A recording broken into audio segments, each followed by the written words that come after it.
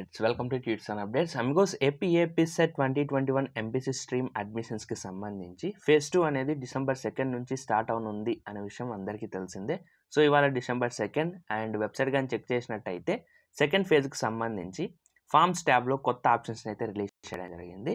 So ఎవరైతే phase వన్లో registration చేసుకోకుండా ఉంటారో వారు మరీ ఫేజ్ టూలో పార్టిసిపేట్ చేయాలి అనుకుంటే కొత్తగా క్యాండిడేట్ రిజిస్ట్రేషన్ అయితే చేసుకోవాల్సి ఉంటుంది.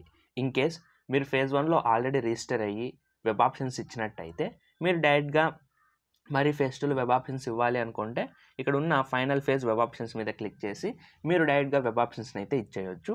అండ్ ఇక్కడ print final phase verified application and certificate reupload ఉంది కదా. సో ఈ ఆప్షన్స్ అన్నీ కూడా మనం యాజ్ యూజువల్గా ఫేజ్ వన్లో కంప్లీట్ చేస్తుంటాం. ఇన్ కేస్ మీరు ఫేజ్ వన్లో మీ యొక్క రిజిస్ట్రేషన్ అనేది సక్సెస్ఫుల్గా అప్రూవ్ అవ్వకపోయినట్లయితే మీరు మరి ఈ ఆప్షన్స్ని యూస్ చేసి మీ యొక్క అప్లికేషన్ని అప్రూవ్ చేయించుకోవాల్సి ఉంటుంది. సో కంప్లీట్గా ఆన్లైన్లోనే ఉంటుంది. ఇన్ కేస్ మీ యొక్క డేటా అనేది ఫేజ్ వన్లో పెండింగ్లో ఉన్నట్టయితే మీరు ఈ ఆప్షన్స్ని యూస్ చేసి మీరు మరి మీ యొక్క అప్లికేషన్ అయితే అప్రూవ్ చేసుకోవాల్సి ఉంటుంది. సో ఎవరైతే కొత్తగా ఫేజ్ టూలో పార్టిసిపేట్ చేస్తున్నారో ఆ క్యాండిడేట్స్ ఫస్ట్ రిజిస్ట్రేషన్ చేసుకోవాలి. అండ్ దాని తర్వాత మీరు అప్లై చేసిన అప్లికేషన్ వెరిఫై అయిందా లేదా అనేది సెకండ్ ఆప్షన్లో తెలుసుకోవాల్సి ఉంటుంది. ఇన్ కేస్ అక్కడ వెరిఫై కాలేదు అన్నట్టయితే మరి మీరు final phase certificate reupload option మీద క్లిక్ చేసి మీ యొక్క డీటెయిల్స్ ఇచ్చినట్టయితే ఏదైనా మిస్టేక్స్ ఉన్నట్టయితే వాళ్ళు పలానా డాక్యుమెంట్స్ అప్లోడ్ చేయండి అని అక్కడ స్పెసిఫిక్గా అడగడం జరుగుతుంది. వాళ్ళు అడిగిన డాక్యుమెంట్స్ని మీరు ఆన్లైన్లో సబ్మిట్ చేసినట్టయితే మీరు సెలెక్ట్ చేసుకున్న హెల్ప్లైన్ సెంటర్స్ వాళ్ళు వాటిని ఆన్లైన్లోనే వెరిఫై చేయడం జరుగుతుంది. వన్స్ వెరిఫికేషన్ కంప్లీట్ అయిన తర్వాత మరి సెకండ్ ఆప్షన్లో మీ యొక్క వెరిఫైడ్ అప్లికేషన్ని చెక్ చేసుకున్న తర్వాత మీరు ఎలిజిబుల్ ఫర్ వెబ్ ఆప్షన్స్ అని కానీ అక్కడ చూపించినట్టయితే నెక్స్ట్ ఫర్దర్గా మీరు వెబ్ ఆప్షన్స్ని అయితే ఇచ్చేయచ్చు సో ఈ విధంగా ఎవరైతే కొత్తగా రిజిస్ట్రేషన్ చేసుకుంటున్నారో. వారు ఈ స్టెప్స్ అన్నీ కూడా ఫాలో అవ్వాల్సి ఉంటుంది. ఇన్ కేస్ మీరు ఫేజ్ వన్లో ఆల్రెడీ వెబ్ ఆప్షన్స్ ఇచ్చినట్టయితే మీరు ఎలాంటి రిజిస్ట్రేషన్ చేయించుకోవాల్సిన అవసరం లేదు. డైరెక్ట్గా వెబ్ ఆప్షన్స్ ఆప్షన్ మీద క్లిక్ చేసేసి మీరు డైరెక్ట్గా వెబ్ ఆప్షన్స్ని అయితే సెలెక్ట్ చేసుకోవచ్చు.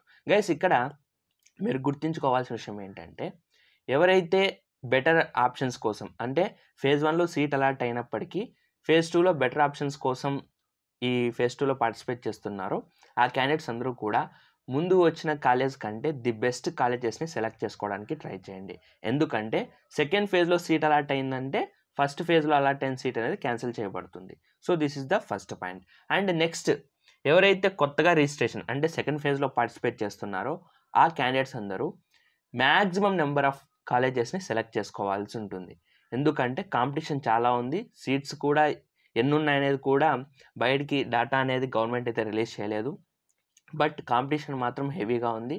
కాబట్టి మినిమం హండ్రెడ్ ప్లస్ కాలేజెస్ని సెలెక్ట్ చేసుకోవడానికి ట్రై చేయండి. హండ్రెడ్ ప్లస్ ఆప్షన్స్ ఉండాలి. అవి కూడా ఎలాగ ఉండాలి అంటే మీకు వచ్చిన ర్యాంక్కి ten K below ten K above ఉన్న కాలేజెస్ని సెలెక్ట్ చేసుకోవాల్సి ఉంటుంది. సో కటాప్స్ ఒకసారి చెక్ చేయండి. కటాప్స్కి సంబంధించి లింక్ అనేది డిస్క్రిప్షన్లో ఇస్తాను. ఆ కటాప్స్లో మీ ర్యాంక్ దగ్గర ఏ కాలేజెస్ అయితే ఉన్నాయో అంటే ten K below and ten K above కాలేజెస్ని select చేసుకోవాల్సి ఉంటుంది. సో అలా సెలెక్ట్ చేసుకున్న కాలేజెస్ అట్లీస్ట్ హండ్రెడ్ కాలేజెస్ అనేది పక్కా ఉండాలి.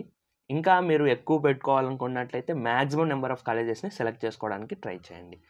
సో ఈ విధంగా మీరు మీ యొక్క EAP CET second phase web options కానీ ఇచ్చినట్టయితే మీకు కన్ఫామ్గా ఏదో ఒక కాలేజ్లో సీట్ అలాట్ అయ్యే ఛాన్సెస్ అయితే ఉంటాయి. సో సీట్ అలాట్మెంట్ డిసప్పాయింట్మెంట్ ఉండకూడదు అంటే మ్యాక్సిమం నెంబర్ ఆఫ్ కాలేజెస్ని సెలెక్ట్ చేసుకోవాలి. సో గైస్ సో ఫేస్బుక్ టూకి సంబంధించి రిజిస్ట్రేషన్స్ అయితే స్టార్ట్ అయ్యాయి.